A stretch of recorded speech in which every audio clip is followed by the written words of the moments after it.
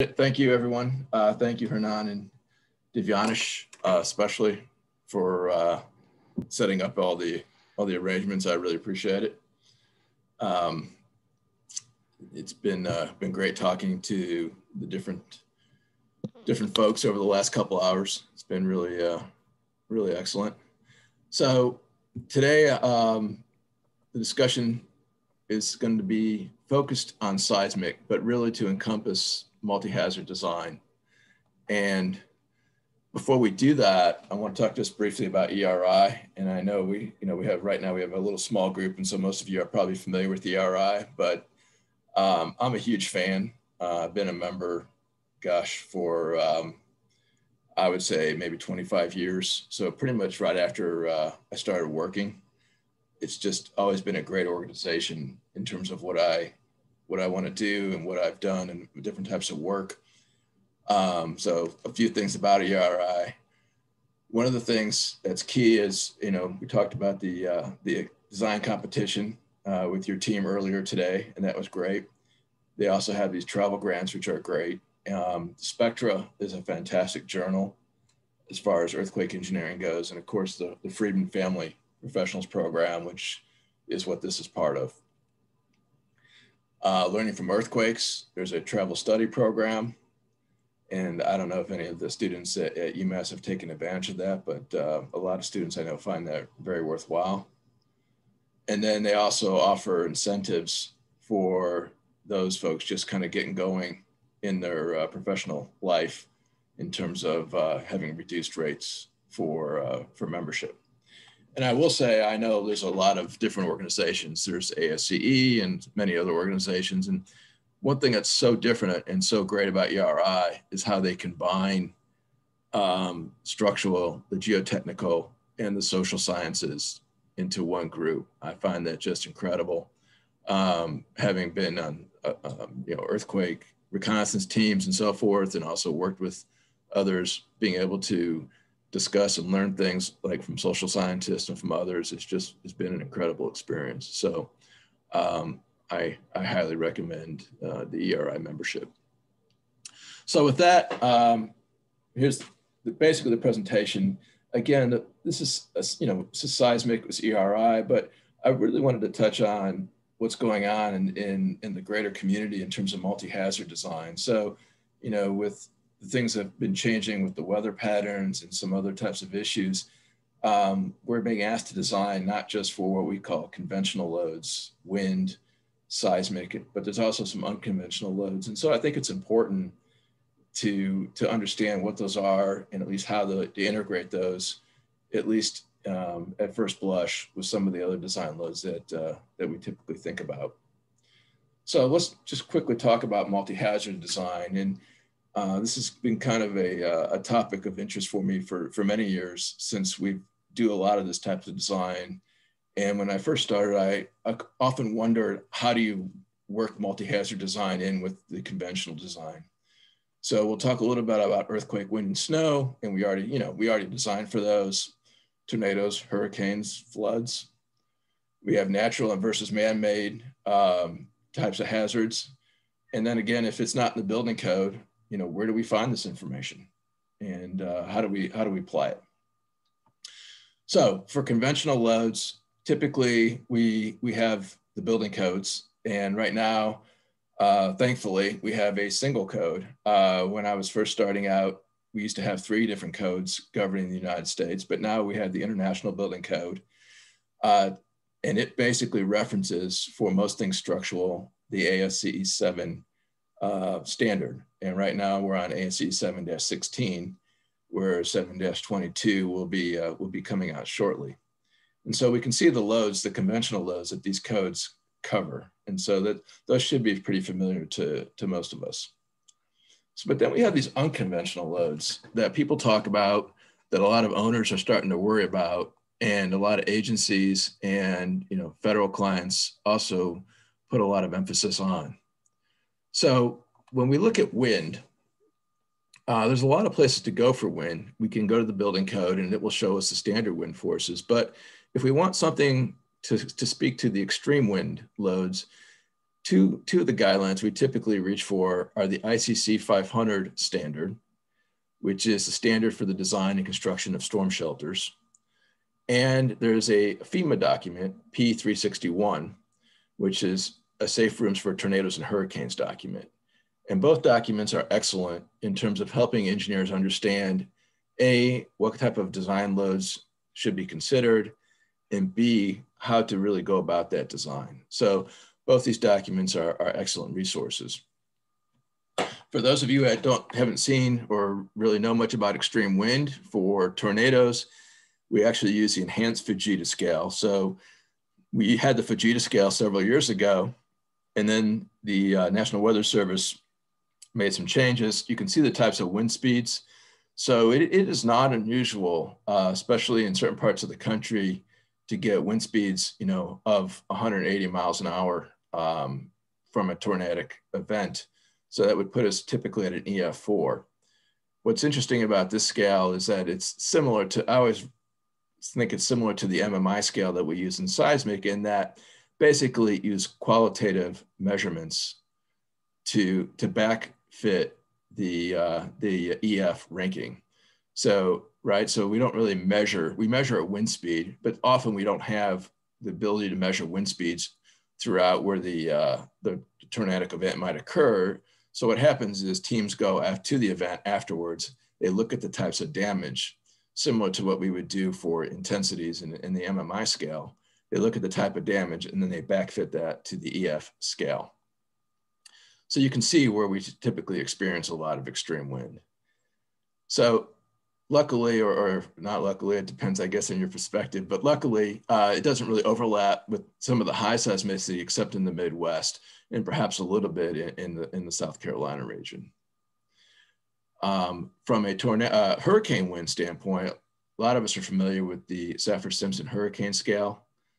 And again, you know, we have, we measure the wind and typically there we can measure the wind to a, a more exact scale because we know the hurricane's coming. We have that advance warning.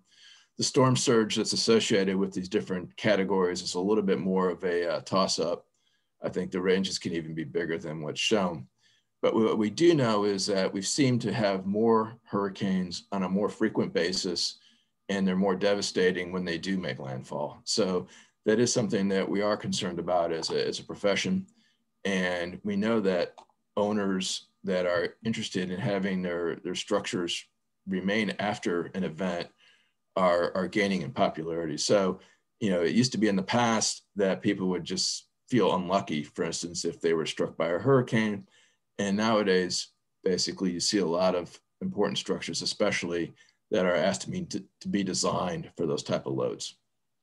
And this is typically where we see the, the greatest hurricane risk, of course, is the East Coast and the Gulf region of the United States. So one of the interesting things about hurricanes is that not only do we design for the wind, but we also design for what we call windborne debris. And for those of you that maybe are maybe not familiar with this, basically what this specifies is an object. And for the, the lower parts of the structure, typically it's a two by four um, and it has a wind speed and it's basically specified to strike the structure at a certain miles per hour, either horizontal on a horizontal surface or a vertical surface. So this is a, is a pretty novel idea, especially to, to folks that have never designed for this type of element. But I have a little picture that I always find kind of interesting, and hopefully this will run here. So this is a, um, a video showing what it looks like when they do these tests.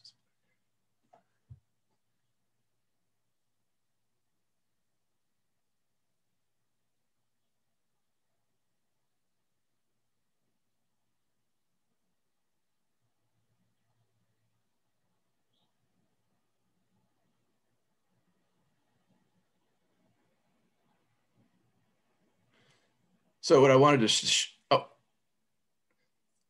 so this is wood frame construction. And then I want to advance and just show you. So this is brick. So you can see um, for those of us, you know, that actually that work with masonry, what, the, what this type of debris or what this type of objects will actually do um, when it strikes a, a, masonry structure, which is pretty incredible uh, when you think about it. So that was kind of a quick tour of the wind. I think a lot of engineers these days get challenged to design in wind, either maybe not for tornadic wind, but definitely if you work down in the Gulf area, you get the challenge to design for hurricane type, type wind. Something that a lot of engineers do not understand or are not asked to design for is blast. Um, and unfortunately, I think blast is becoming a bigger part of our design um, portfolio, not only because government agencies are very concerned about it, and we also have industry that is also has their own challenges from a blast standpoint, but just you know typical buildings, important structures, structures that are considered of, of monumental value, uh, are also concerned about different types of, of blast events. So when we talk about BLAST and we talk about uh, what we call ATFP, which is anti-terrorism force protection design, uh, the very first place we start is typically with a risk assessment to figure out what type of risk our structure faces. And typically that, that starts with the type of perimeter and then what we call standoff. And from a blast perspective, um, as many of you probably know, that distance is our friend, right? So the, the blast pressures, typically a pressure and an impulse, that will vary typically with it by a cube of the distance. So the more distance we can get away from the structure, or the more we can stand off uh, the threat, the less the pressure, considerably less the pressure will be on our structure.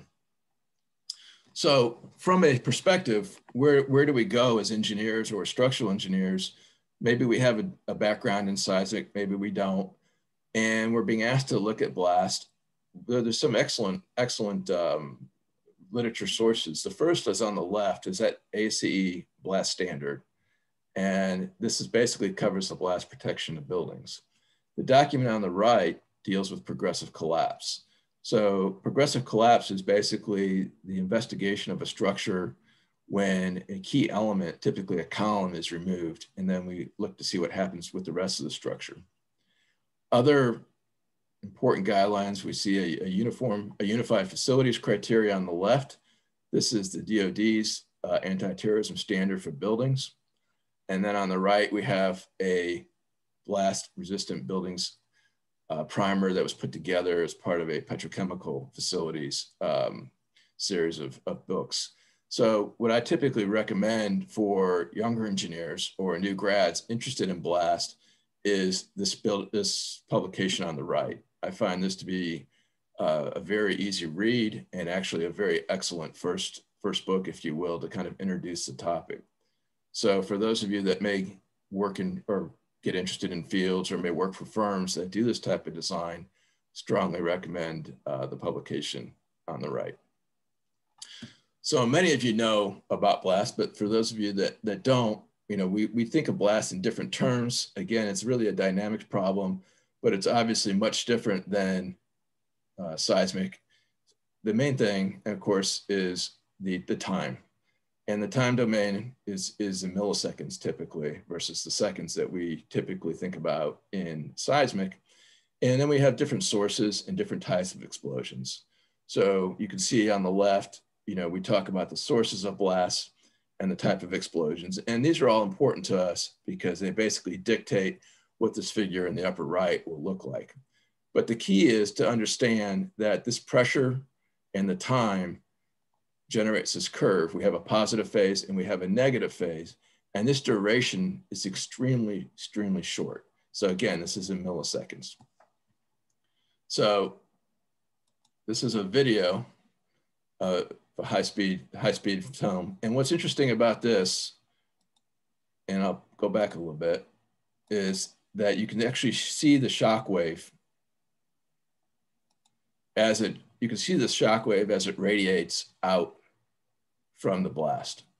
And so this is something to think about. Again, this is outside, so this is a free field test. And so the shock wave actually has somewhere to go. Now, if this was inside a structure or adjacent to a structure, where that shock wave is going to uh, impact the structure, you can think about what, what that would mean. So again, this is actually in milliseconds. So this was a very, a very uh, slowed down version of what the actual event would look like. So how do we design for BLAST or ATFP? We have a lot of methods. So we have our single degree of freedom, uh, which those of you that have taken structural dynamics, maybe you, you recall. Um, that's our basic, that's our go-to system, if you will, for the BLAST design. We have a multi-degree of freedom system, which gets a little bit more complicated. And then we have some great new tools, uh, such as computational fluid dynamics. So computational fluid dynamics actually lets us use fluid dynamics to basically simulate uh, blast, whereas you know 15, 20, 25 years ago, a lot of the information that we could only gather via testing, now we can use uh, a computational fluid dynamics type of software to go ahead and get that information without the destructive testing. And of course, we also have our more standard FEA analysis. On the bottom left, so this is a, um, a pressure tube. Uh, sometimes they uh, test basically windows or doors. And the way this works is it's not, there's no high explosive or anything of that nature. Basically, you pressurize this, this blast tube and you break a small diaphragm within the tube and that lets the pressure out. And as the pressure builds, as it expands to this end right here, where you have a fixture, could be a window, could be a door, could be a structural element, um, the pressures generated will simulate those of, of a blast. So this is kind of a blast testing device, if you will, that does not involve, uh, you know, an actual explosive. So this actually just shows what we can do with computational fluid dynamics versus a actual test. So what we see is that what we like to see is that this, the shock wave actually mimics the actual shock wave uh, pretty, pretty well. And that's important because we want to be able, we want to have confidence in our computational uh, methodologies.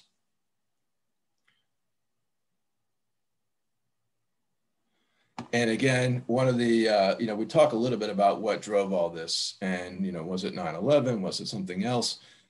From a progressive collapse standpoint, especially, and a lot of the ATFP, um, many people will, will trace that back to Oklahoma City and the, uh, the Murrah building in 1995. And this was actually, you know, this wasn't, I won't say the first, but this has really brought a, a great deal of attention to the concept of progressive collapse and what happens when key elements of a structure are removed, in this case by the blast, and then what happens to the rest of the structure. So this was a really important um, watershed moment, if you will, in basically shedding light and pushing forward this, this idea of progressive collapse and some other issues with ATFP design. Again, with multi-hazard, we focus a lot on windows and glazing and curtain wall, because what we find is that for a lot of types of threats, it's the actual glass and the fragmentation of the glass that can cause, cause the most injuries and most fatalities. And I think this was supposed to be here. So you can see you're inside a building and that's the glass being blown in as the event occurs outside.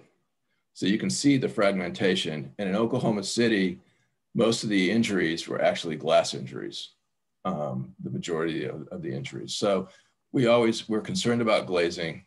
And again, this is not just um, public buildings, even industrial buildings. There's a lot of, of commercial structures where there is concern and there's concern about um, you know whether real or otherwise of what types of threats may be out there so as an engineer perhaps getting started in this field or in, in structural engineering um, especially you know firms that do work in you know earthquake engineering or do other types of special uh, design whether it be different types of structural dynamics you may be asked to start looking or may be asked to, to work on projects that involve this type of design.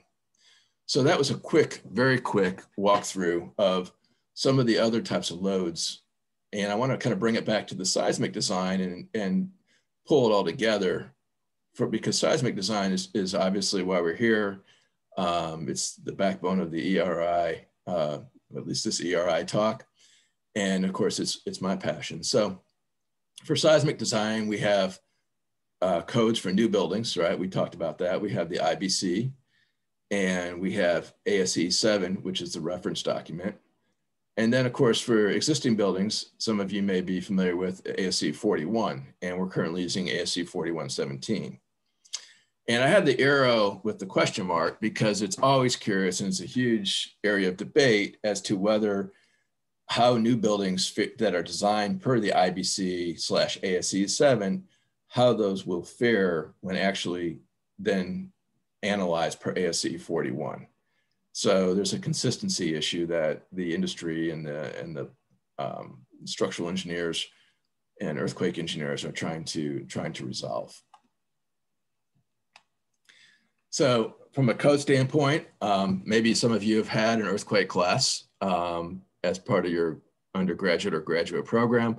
So maybe this looks a little bit familiar, but once we get to ASCE 716, from a seismic standpoint, we're referred to the USGS seismic maps. And then we're also referred to other documents. In this case, I'm pointing to the concrete and the steel documents for design of different types of structures and structural elements. So what is the issue? The issue is that the building codes are really a minimum set of standards. So it's basically what we call a life safety standard. It provides life safety for the building occupants, but really does little, if anything, to protect the building from an economics or a, um, an occupancy standpoint, a resumed occupancy standpoint. So we anticipate structural and non-structural damage. And again, really the code doesn't care if your building's a complete loss for the most part. There are some buildings that are special depending on the risk category, but for the most part, the vast majority of buildings, we're focused on life safety and whether or not that building is a complete loss after a seismic event is, you know, it's harsh to say this, but it's really not the focus of what the building code's about. So for those of you that have, have been through the code, this may look familiar and we can see there are importance factors in the building code to help address what we consider to be more important buildings. So for instance, if we have a hospital or we have a fire station or an essential building, we categorize those as a risk category four structure. And you can see that we increase the seismic importance factor as shown in this graphic, along with the importance factors of the other, um, other conventional design requirements. And typically, again, these are used for risk category uh, four and some risk category three buildings for the most part. Risk category two, which is our regular construction, again, you can see the importance factor is simply one. So performance objectives. So we have critical buildings, we have our essential facilities, the hospitals, the fire stations, et cetera. We want to avoid economic loss. What does that mean? It means we avoid business interruption. We, you know, we don't lose market share, and we hopefully don't lose inventory. So these are all types of things that we want to think about as design engineers and our owner and our design teammates. So we may be part of a design team. We may be part of a large design team with architects and other engineers, even developers.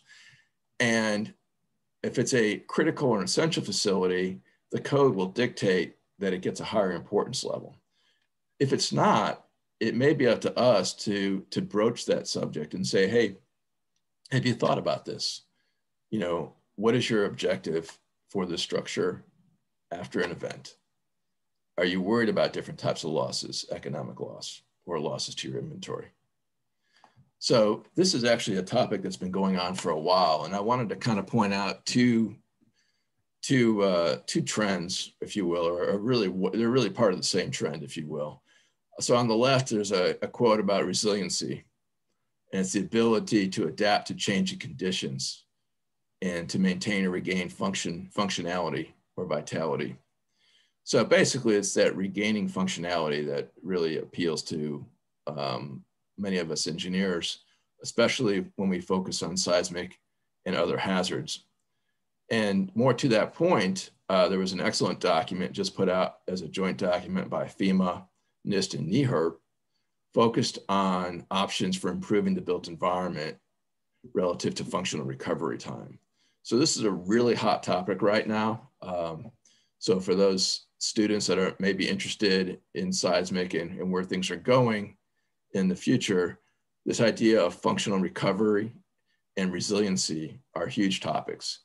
And that is basically the ability to recover and to resume operation and to basically be there as part of, of, of the ongoing recovery effort for the, uh, you know, for society as part of that region. So how come codes don't take care of that? You know, why we have, a, we have this great building code. Why can't we rely on the building code?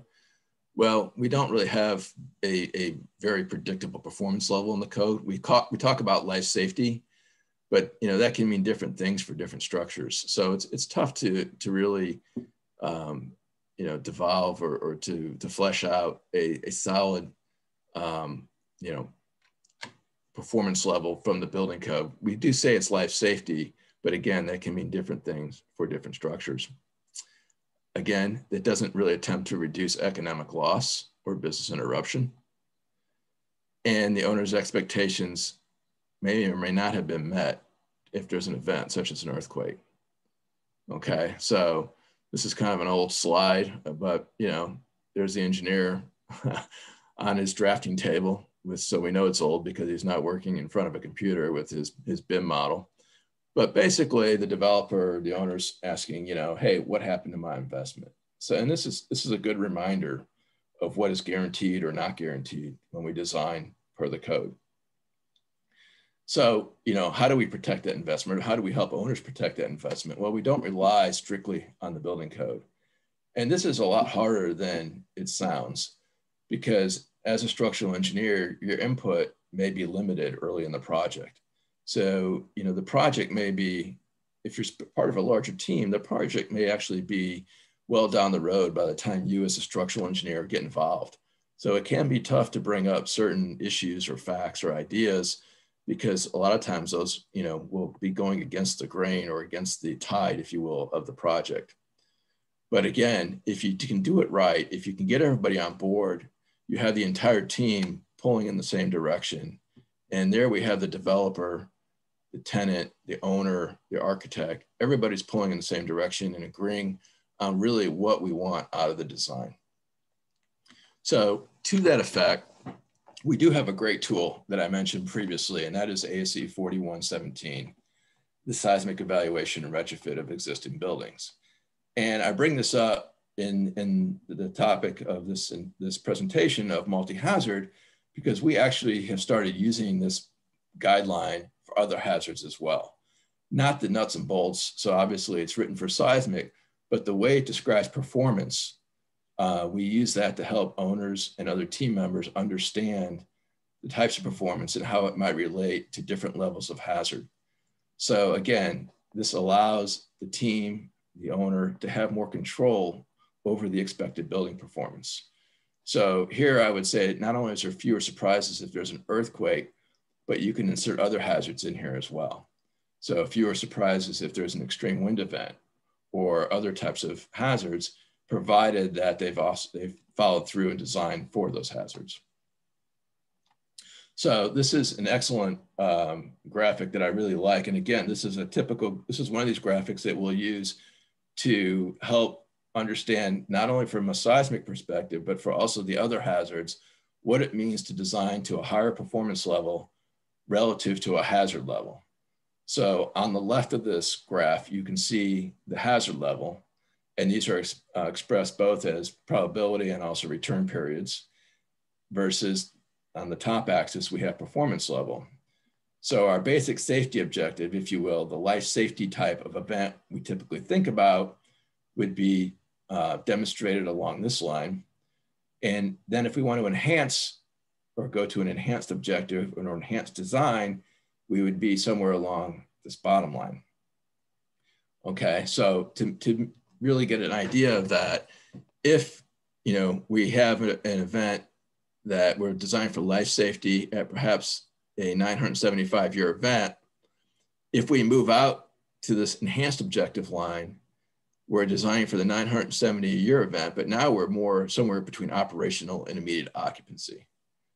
Okay, so that is a much more robust type of event. It's a more resilient structure and non-structural uh, system, but a cost there, there's cost associated with that. So we try to have this conversation with the owner and the design teams early as possible. Uh, on the left is a chip plant or a picture of a chip plant. And this is a, a classic type of business where every day that they're out can mean millions of dollars in lost revenue right? So they want the building to be life safe. They want to protect the occupants of the building. But the key here for them, from an owner, honestly, is how quickly can I be back in business after this particular hazard? So we're showing for an earthquake in this, in this graphic. But again, this could be a different type of hazard, whether man-made or natural. So this is a kind of a classic old slide. It's pretty old. But I, I, like it because it helps describe the difference between operational and immediate occupancy and life safety.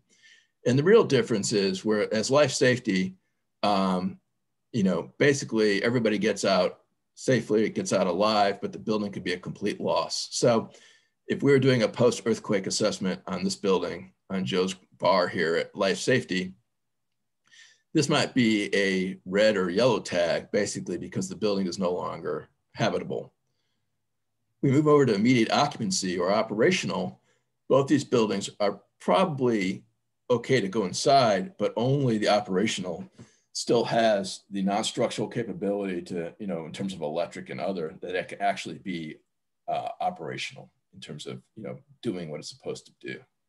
So media occupancy means you can go inside, but you may not have the utilities and so forth. Whereas operational means you're ready to go basically in, in function as you're intended. Huge part of that is non-structural. And non-structural elements are often the weak link in the system. Uh, structural engineers, we often like to focus on the structure itself. Um, even though, you know, uh, within ASCE um, 7 in chapters 13, chapters 15, and others, other locations, there are non-structural criteria. Often these are not paid quite the same amount of attention as the structure itself. And a lot of times the non-structural elements can drive the loss. So we think about both the design and the installation of these elements as being very important. Um, and lastly, I would just say that, you know, I, I don't want to paint too dire of a picture because there's a lot of great things going on in the profession, in the technology um, one of the technologies that came about in the last maybe 10 years or so that's really being implemented um, widely are these buckling restraint brace frames, BRBs. And you see these gaining in popularity, um, you know, throughout different earthquake regions around the world. So there's a lot of great technology, a lot of great research going on. So, um, you know, while it looks like there's, you know, a, a lot of loss and a lot of damage, there's actually a, a, really a real bright side to a lot of the technologies that we're seeing here coming forward. From a cost standpoint, you'll often get asked if you're working with a, a design team as a structural engineer, you'll get asked what it means to go ahead and upgrade the seismic performance. And that's really a tricky question because upgrading um, one building to a operational level, it could take, you know, one to 2% of the construction cost. And a different building, it could be one half of 1% of the construction cost. So again, these are construction costs. These is not the structural cost. And you have to be very, very careful when talking about uh, premiums to upgrade that you differentiate between construction costs and structural costs. Okay, so I know that was kind of a quick run through, but really the idea is how do we think about seismic in terms of multi-hazard design right? So we're all folk you know EERI is a, the focus is on seismic and uh, seismic gets a lot of research and a lot of us are focused on seismic but we realize we're living in a different world. We're living in a world we have more frequent hurricanes more frequent floods um, other types of hazards so we want to be able, as a structural engineer, we want to be able to bring to the table the ability to design for all these hazards concurrently. So how do we do that? It seems kind of daunting. But the first thing is, and what we what we tell people is to keep the load cases separate. So be, it sounds simple, but sometimes it gets conflated. And we try to keep things simple, but keep them, keep them separate. Be very cognizant what type of uh, design you're looking at. Are you doing a code design? Are you doing an ultimate design? Um, so code, if we're doing seismic or we're doing standard wind design, might be fine. If we're doing uh, a very, very high wind, maybe we want to be thinking more about ultimate. And for sure in the blast or other types of ATFP design areas, we definitely want to be thinking about ultimate. So understand the difference between code and ultimate and keep that, uh, keep that separate. And again, owner education is key, right? Because you're, you know, it's typically you don't own the project. You're just, you're working on the project at the behest of someone else. And it's key that you educate not, the, not only the owner, but the rest of your design team. And then to coordinate the between disciplines. So we see that a lot in seismic where if we don't coordinate well between the disciplines, especially with the non-structural, we see some unfortunate uh, failures. And that goes forward with other types of design as well, whether it be hurricane, whether it be blast we really have to maintain well, uh, well, you know, well, well coordinated uh, communication between the different disciplines. And constructability is a, is a big issue, and I'll talk about that in a second. So lastly, I, and I was kind of moving through quickly because I wanted to leave some time for questions if there are any. I'll just show a very simple uh, example. This is kind of a simple building. It's, but it, it it's simple in that it's it's only um, you know really a one story structure, maybe one and a half, two story, depending on on different parts of the building and what you consider a story. But the way it was came about and the way it's designed uh, kind of fits to the multi-hazard design standpoint. So it's a 30,000 square foot uh, ECC, Emergency Communication Center. So it's basically a combined 911 call center and a response center. So this is the building after an event, whether it's an earthquake, whether it's a tornado, whether it's something else. This is the building you absolutely want to have around because this is the building where you're going to get all your 911 calls and you're going to coordinate all your emergency response. So the challenge was not only to design it for seismic at a high level, so occupancy category, actually a risk category of four per the code, but also to look at an extreme wind at 180 mile an hour tornadic wind per the ICC 500. And then they also wanted it designed uh, per the DOD's uh, ATFP criteria, which is UFC 41001. So you might be asking, well, you know, what made them think about tornadic winds? And it's really funny because today is actually the 10 year anniversary of this very large tornado that struck the Midwest, throughout the Midwest. Um, and actually, part of it damaged the airport in St. Louis. And so it was a pretty significant event, and it tore up quite a quite a bit of uh, of the county in St. Louis, and actually damaged um, some structures and some other types of elements that were pretty close to where the new ECC was planned. From an anti-terrorism standpoint, you know that they always fear, and we see some of the civil unrest that goes on. You know, they want to be able to, you know, be able to, to be a hardened structure and still have the response in case they face some type of uh, civil unrest or some type of malicious type of environment. so what we see are two pictures, and on the left we see um, the way the structure is spread out, and this is, be is because of the mandated standoff distances. So again, from a blast perspective, we know distance is our is our friend. Um, we can truly reduce the pressures and the impulse that are applied to the building based on the, the distance that we can achieve. But we can't really achieve, you know, all the distance we want all the time. And then we get what we see on the right, which are these huge curtain wall members. So it's kind of tough to under, see in, in great detail, but you see the gentleman, you see, you know, for size, so the mullions that you see to his right are for the windows, and those are designed to take out the blast loads on the windows, which are actually especially designed for the, the blast pressures. And those will take out the loads to the remainder of the structure. And you can just see the size of those tube elements, uh, which are you know several times larger than you would normally get if it was just a standard curtain wall curtain wall system. So again, with multi-hazard design, constructability can be a huge issue. And so, you know, in high seismic regions, we're used to that, right? We're used to constructability and trying to get, um, you know, all the steel and concrete members with all the ties and the different bars and so forth. But this is to a different level because not only do you have seismic, but you also have other things that maybe the contractor is not used to. So special tie down, special anchorage forces for tornadic winds, special members for blast design. So you need a, a very high level of coordination out in the field with the contractor that's working the job.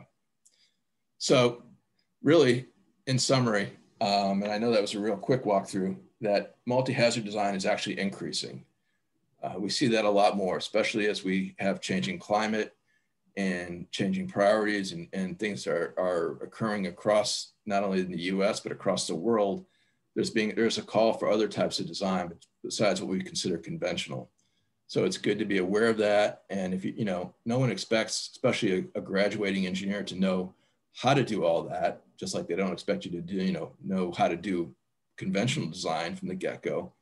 But it's good to know where to go find the tools and the research and the standards that will help you uh, move forward in those areas key element is that one hazard doesn't cover the other hazards. We see that a lot where uh, sometimes owners will say, well, you know, I have a, a, seismic design, so I'm, I'm probably good for a hurricane or I'm good for a blast or I have blast design. So it should be okay for, uh, for seismic. And so that's not necessarily true. And so one of the things that's key is that the earthquake engineers, especially the earthquake professionals, they're often looked to add to provide leadership in this area for multi-hazard design because of the maturity of the earthquake engineering field.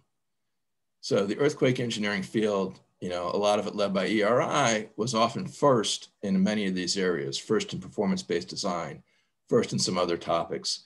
So those folks that work in earthquake engineering, the professionals, are often, often asked to kind of take a leadership role and help drive, drive some of this design in the multi-hazard area. And then lastly is this constructability issue. Um, you know, we can have a wonderful design. We can be really proud of our design team proud of ourselves. And, you know, everybody's patting themselves on the back for what a wonderful design. But if your constructability and your construction doesn't go well, um, you know, that will quickly be forgotten. So constructability is, is huge. And then very lastly is a plug for EERI. Um, I think it's a tremendous organization, especially for those that are involved in earthquake engineering. Um, again, the multidiscipline involvement and the opportunities that it, that it allows um, are really hard to, to find anywhere else. So huge fan.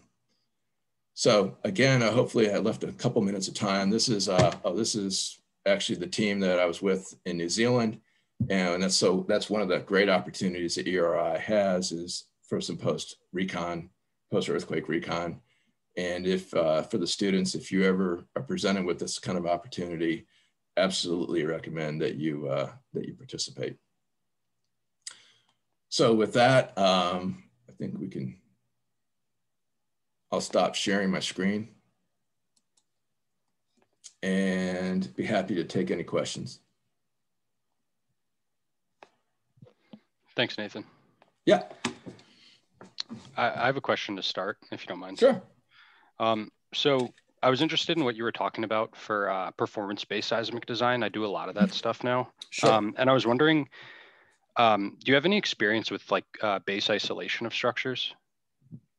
Yeah, uh, we've done some base isolated structures, and I call that kind of the Cadillac of um, high performance seismic design um, because obviously, um, you know, for all intents and purposes, you, you get tremendous amount of protection with a base isolated structure. Um, there's some misnomers that you don't you don't have to do anything else, which is untrue. You still have to design the rest of the structure. Uh, you're trading acceleration for displacement, basically. The the issue is is that you know there's a substantial cost increase, and it's not just the cost of the isolators. Um, the non-structural, everything that, so for those of you not really familiar with base isolation, you have a moat typically or a, a line that goes around your building. that basically allows the structure to move relative to the ground. And this moat, if you will, has to be crossed by all your utilities. And so that becomes a huge um, construction issue typically. And you have to provide enough slack, if you will, or an, enough leeway in the different utilities, um, water, gas, electric, et cetera, that everything has to get over that, that line or that demarcation line and have enough flexibility so it won't be torn apart during, during an event but it's a great uh, it's a great way to go for special structures. We see that a lot for data centers, um, you know, those type of structures where basically the value of what's in the structure tremendously outweighs the actual value of the structure itself. Well, I'm glad you mentioned the uh, the cost um, because that kind of leaded into the second question I wanted to ask about. Sure. That is, um, you mentioned owner education. So mm-hmm. something that that I've learned and that I've kind of found doing research is that, um, and I wanted to get your opinion on this. Do you believe that the R factors that we use in seismic design are maybe a bit too high, which which um, you know reduces cost and makes it uh, less attractive to go towards base isolation and performance-based design? Uh, yeah, yeah, just a thought. Yeah, no, that's a great topic. I mean, you could get you know. Um, 50 engineers in a room, structural engineers, and you'd have like 50 different opinions. Mm-hmm. Um, a, where no where the R factors originally came from, because that's a that's a whole nother topic, right? I mean, you know, mm-hmm. there's no a lot of those that you you wonder if people were just throwing darts at a dartboard. Exactly. But yeah. um, you know, you would think after we've had Northridge, Loma Prieta, um, you know, New Zealand, and the earthquakes in Japan that we would, you know, know enough about the fragility of different elements that maybe we would have a, a pretty good comfort level. But I, I think that's a good point. Um, I don't know if, you know, the profession's ready to tighten those up quite yet, depending on what it would mean from a design standpoint. So there's a lot of there's a lot of pushback when you try to make certain changes. Um, which is why I, I think functional, this whole idea of, of functional resilience and functional recovery is great. I'm interested to see how that plays out in the wider community. Um, once we get outside the technical arena and you start talking to owners, developers, you know, people that have a very high level financial interest in these projects, um, how they're going to feel about certain things that if you know tighten up the design requirements because I've had people ask me, well, it's a no-brainer. Why don't we design all these buildings to a higher level? You know, why life safety? Mm-hmm. You know, why aren't we designed for you know immediate occupancy? And it's it's money. And um, you know, you sit around in in technical forums, and it's easy to to convince yourself that there's a, a better way to do it. But you, it's important to recognize, especially for you know for those in the field and working in the day-to-day profession, that there are a lot of competing interests and, you know, you may sit there and go, well, it's obvious. Can't everyone see it? We should be designing for this. And, you know, the rest of the team is shaking their head no, because, you know, that, that doesn't make sense from an economic standpoint, at least a first, you know, a first cost economic standpoint. And they don't want to talk about, you know, the earthquake 20 years later or whatever that may be. So it's a good question. Um, I don't know, you know, if those will change drastically here in the next few years. I think they kind of change piecemeal as new research comes out. But we'll see. Um, you know, I'm hopeful that this idea of performance-based design and through functional recovery will will push forward a little bit. Um, but you know, every time I hope that, I run into developers and others that basically throw cold water on that. So we'll see. Thanks. Related, yeah related to that, I'm just curious from, you know, you've done a lot of work in the Midwest as well as other regions, but, you know, in New England, where we are, I think there's resistance, especially for everyday structures, you know, not, not the state of the art call center or whatever, to really put emphasis on something that's not seen by the public as being a, a significant risk. And I think that that, I, I was wondering if you have a perspective on, um, whether it's Midwest or, or you know nationally or internationally, of how whether that's whether you see any shift in that and whether um, I think you were involved with the EERI school stuff for a mm-hmm. while, or um, you know how like these essential structures such as schools, such as you know emergency facilities, if if there isn't the general push to do it for everyday structures, you would think that those would be done, but they're not. And and what what do you think it would take to to get the focus on those? Yeah, that's a good question. I think that definitely West Coast has more visibility because of the frequency of the earthquakes, at least, uh, at least the perceived frequency. Um, so it may it's a little bit easier uh, road out west, Midwest, East Coast. Uh, you know, we design differently to an extent, um, but yeah, I mean, you know, you look at what happened with the safe rooms. So like safe rooms have been integrated into school design now. Safe rooms are these spaces that like in a high wind or a tornadic wind event, you, you know, people can go to. It's not really, you can't live there, but you can go there to shelter. Um, for those of you aren't really familiar with them. And, and so now they're being integrated in certain types of structures in, in the later codes. Um, I think it's just a tough, there's these competing forces that tend to push back against any type of, of movement to, to elevate the design. Um, you know, both for residential um, and commercial structures, there's you get this pushback. So for you know people that may or may not be aware that when these codes get to you know these codes are committees of people, so you have plenty of engineers, you know you have practicing engineers, you have academics, but you also have people from different different uh, industry groups. So AISC, ACI, they're all there, but you also have folks that represent owners and different types of owner associations as well. So there are competing interests. Um, you know, I think if this functional recovery idea and this additional resilience catches on out west, I think it would it might migrate through the Midwest and East Coast um, eventually. You know, if we have another like Superstorm Sandy or some other types of events, um, you know, a large hurricane coming up the East Coast, or even a moderate earthquake in you know New England or up upstate New York or something, um, you know, definitely would change some perception. But it's it's it's tough because um, you know there's a lot of inertia to try to overcome.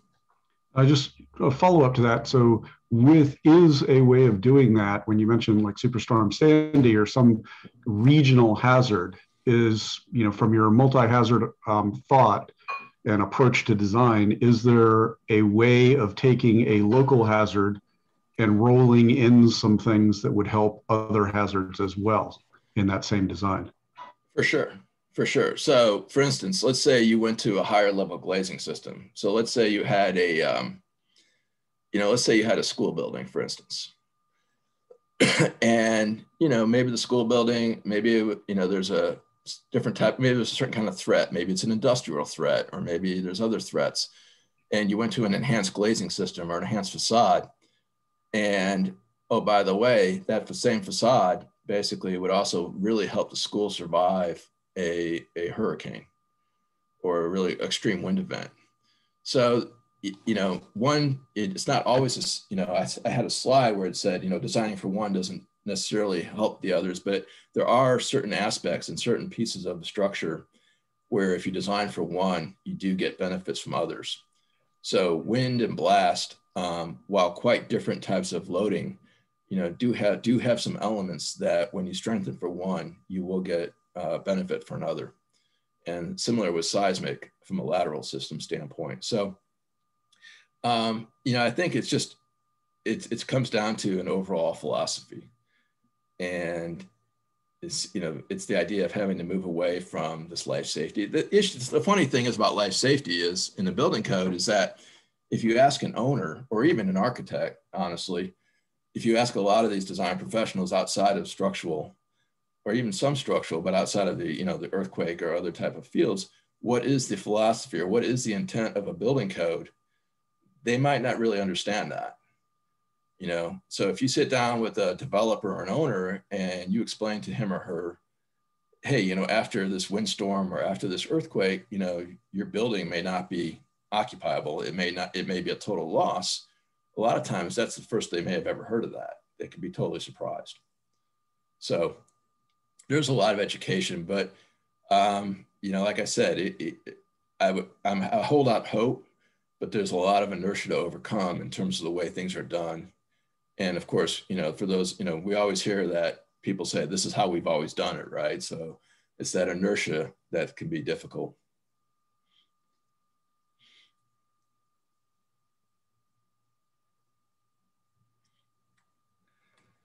Did I run? I'll ask another question unless someone else has one. I have a question um, about the approach to blast versus the approach to like earthquake or wind. So, I mean, with earthquake, when these are like natural hazards, but with blast, you're dealing with um, could be like a man-made hazard. So I'm wondering mm-hmm. how you um, deal with the large degree of uncertainty that comes with trying to design for a blast load. How you're varying the parameters such that you're really um, making a design that is realistic of what might happen that's a great, that's a great question. Um, that's really a good question because the the dirty little secret is uh, we design for a lot less than really. Um, uh, I hate to say that, but somebody with malicious intent, um, you know, like what we saw with the Oklahoma City, there that was a tremendous amount of of, of, of power. Uh, so typically, with in the blast world, what we do is we we regardless of what they uh, they use, whether it's like uh, you know um, ANFO, uh, ammonia, you know, so like fertilizer and, and, fuel oil or something else, it always gets classified or, or equivalent to a, a, certain number of pounds of TNT. That's just how we express that type of, of event. And this, we typically design for, I won't say really low, but a lot lower than you, you would assume could be transported to a facility or to a site by an industrious person or persons. Um, that being said, you have to have a level. You have to you have to settle on a level that is you know can be designed for that people can understand. So there are levels that are out there that are in those DoD documents that are in some other documents um, that are basically um, um, you know, specify the types of the equivalent TNT load that is, is designed for. So in industrial areas, so like in a, in a, for instance, a, a, refinery or some other type of chemical plant, there's also, you know, we may have a blast risk in that and we have different types of loading. Um, and those, that type of loading is actually generated actually from the actual source. So you do typically what's called a siting study, siting, S-I-T-I-N-G, siting study. And in those studies, you'll actually develop from the threat, from the source that you're concerned about. So maybe it's a pressure vessel explosion or something else. You can actually generate the loads, the actual loads, the pressures and the impulses from that. So um, I don't know if that answers your question. I guess the, the level of confidence in the actual defining the threat and from an industrial source is probably a little bit higher than from a malicious a malicious intent if that makes sense yeah that makes sense thank you mm-hmm. Okay do we have any other questions yeah, I'll ask one last quick one and then I'll let you guys go. Um, have you worked with any projects where you've done um, uh, three axis loading um, and earthquake design. So like including like the vertical um, earthquake accelerations. And have you found any uh, anything interesting uh, in doing that as opposed to traditional um, horizontal ground motion studies? Sure.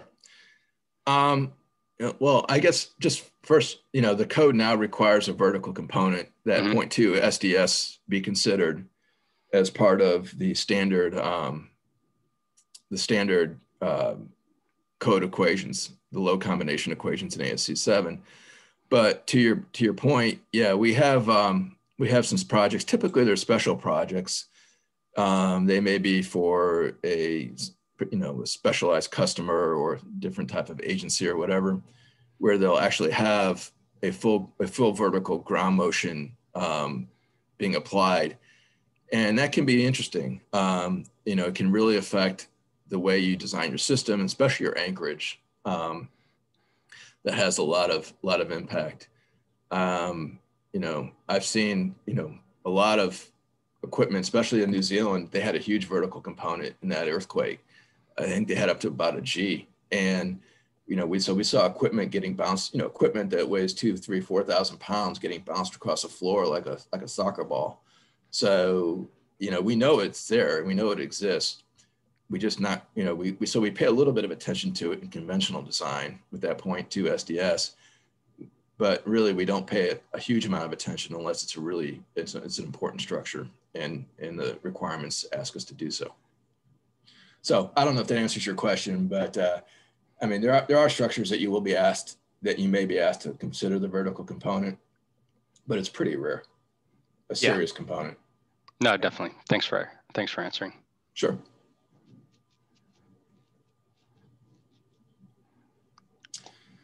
All right. All right. Um, so uh, I guess Hernan just posted a link to our next talk. Um, Dr. Gould, would you like to take a break? Uh, this one did run over a little bit. Um, that's fine. What time's the next talk? Uh, it was uh, supposed to be at 3:40, so we're a little over. But how about just? Can you give me 10 minutes? Yeah, sure thing. Of course. All right, all right. I'll I'll I'll dial into the or I'll link into the uh, other website in 10 minutes. All right, sounds good. All right. Thank you all. I'll see you in a bit. Bye bye.